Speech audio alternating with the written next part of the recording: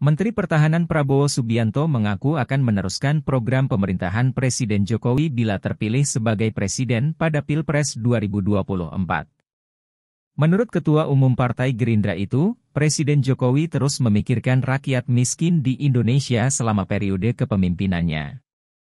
Prabowo pun menegaskan bahwa dirinya bukanlah penjilat karena terus memuji kinerja Presiden Jokowi.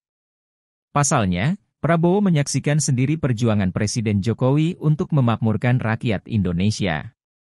Prabowo juga menyebut Presiden Jokowi telah merancang arah pembangunan Indonesia selama 25 tahun ke depan. Oleh karena itu, Prabowo berambisi melanjutkan program kerja Presiden Jokowi demi Indonesia emas. Prabowo juga merasa utang budi pada masyarakat yang setia dan mendukungnya untuk memajukan Indonesia.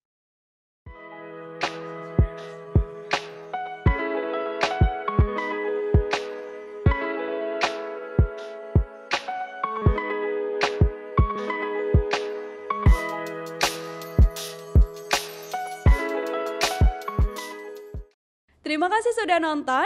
Jangan lupa like, subscribe, dan share ya.